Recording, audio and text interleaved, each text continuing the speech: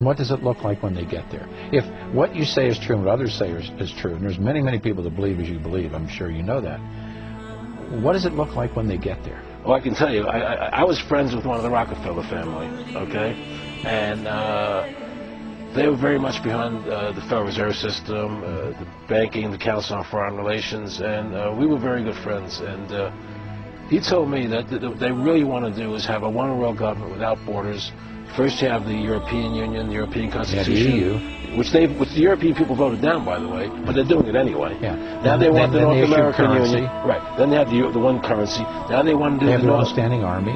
Yep. But now they want a North American Union. Yeah. They want, and then what they want to do is bring everybody together under one. The Amero is there. The Amero, the currency, I exactly. didn't know it is there. And so uh, their plan is to have a, a government uh, for the world.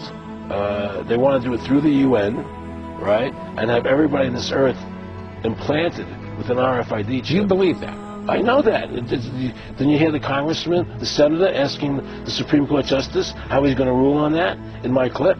You think that you think he asked them for no reason? They're already implanting people with chips. The national ID card, which becomes law by May 2008, it's going to have an RFID chip in it. Okay, everything is done in stages. After the RFID chip goes in the card and in your passport, it's going to go into your body. That's what they're going to try and do. There's no question about it. And they're not going to do it through law. They're going to do it because you can't, you won't be able to live without it. All your money is going to be in that ship. I think Waco is my tipping point.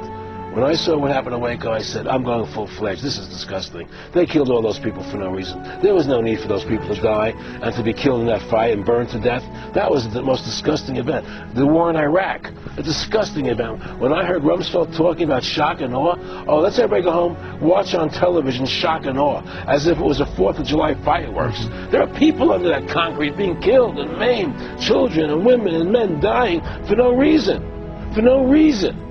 You know? I had a friend, one of the Rockefellers, he said to me, Aaron, uh, what do you think women's liberation was about? And I said, uh, I think I had conventional thinking. And I said, I think it was about women having equal right to work with men, equal pay, you know. He said, you know what, Aaron, you're an idiot. And he started to laugh at me. So what do you mean? He said, you want to know what that was about? Said, tell me. He said, we, the Rockefeller Foundation, financed that women's lib movement. You want to know why? For two reasons. Half the population wasn't taxable before. And the second reason is now the kids go to our schools at an early age and we mold them. There's no more family at home to take care of the kids. The state becomes the family now, Aaron. You get it? And that's how this country is working. It's run by evil. It's run by evil forces. And people in this country better wake up to the truth and save this country from what's happening.